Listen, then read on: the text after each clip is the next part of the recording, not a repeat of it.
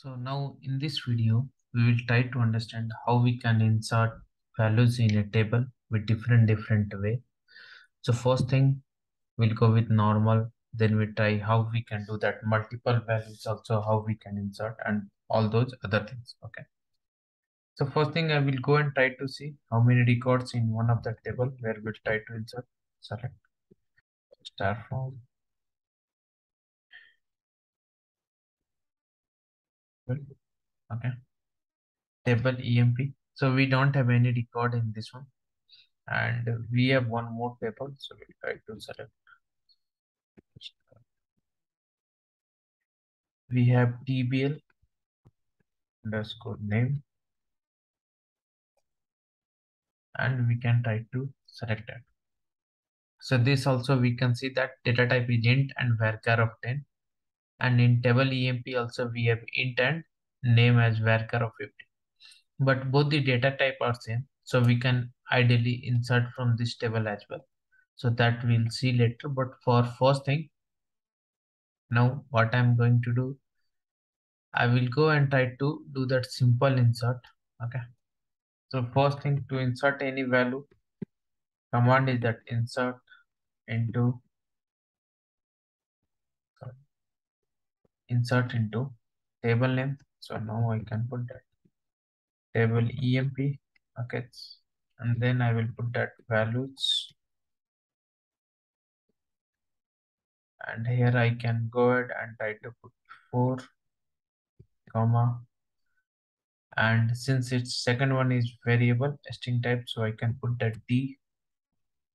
Okay. And now we'll try to insert that. Okay so we can see one row got inserted. So now if I go and try to execute this one we can see one rows is there. Okay. So first way to insert this one we can use in this way and then we can do that insert. Okay. So I will comment this. Now second way to insert is what I can do? First thing I I wanted to insert specific to that column. So how we can do? So now insert into emp and now here we can pass that column name. Okay. So which all column value we wanted to insert? So right now since I have two column I passed both the column name and then I can pass that values. Okay. And after this I can pass that value in that same way. Whatever column first one I given it will go to this one. So what I can do? I can keep in this way. Okay name comma id so now first one I am passing that name. Then I need to pass in single quotation and name as I will pass as e then comma. I uh, already inserted 4 I will insert 5 okay then I can go ahead and try to execute this one. Okay so one row inserted. Now if I go and try to execute this one we can see that one more row inserted.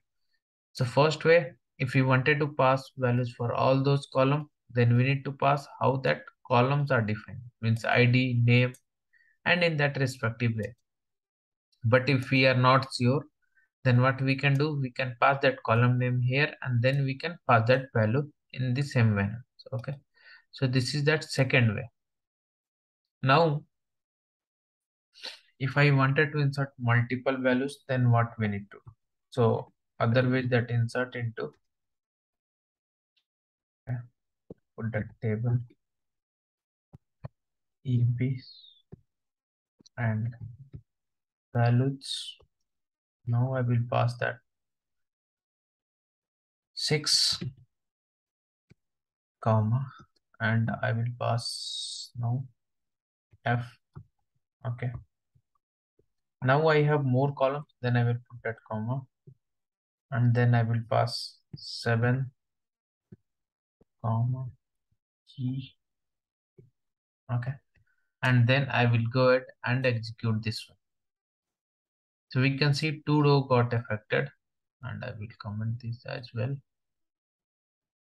And now if I go ahead and I try to execute this one we can see now 4 5 and 6 and 7 just now whatever we inserted it's got inserted successfully. Okay so till now we got that three way different way how we can insert that value.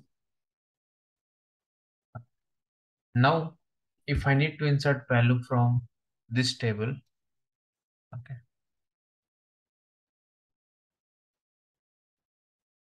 So I wanted to insert that value from this table to our this table, okay.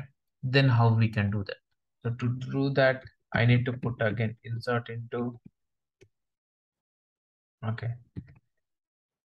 table emp and then select star from.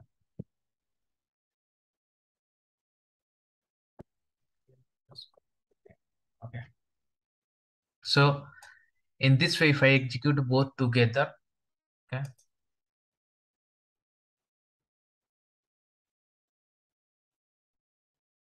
So you can see that in TBL name, we have three rows. So if I execute both together, then it's going to insert all three. If I wanted to put some condition, then I can put that where, and then I can pass that name. Okay, so suppose I can pass that where call 2 equals to A. Okay.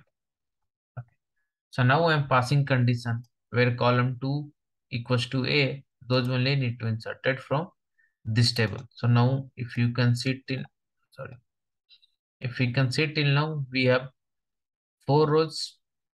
Idea start with four, five, six, and seven, and we don't have A. Now I'm going to insert this one, this two, if I go ahead and execute it. So one row got affected. Now if we go and execute this one, we can see one got inserted, okay, and A. But now same thing, if I can copy one more time, I will come. So now I don't want where not equals to A, okay, and or we can remove this where clause also. But if I remove this, we can just try to see only select a statement. So two rows are coming. So if I go ahead and try to execute this two, okay, so two rows inserted. Now if I go and execute, we can see that now 2 and 3 also came, B and C. So in this way, we can insert in multiple ways all those values in our table. So I hope you understand this one. Okay, thank you.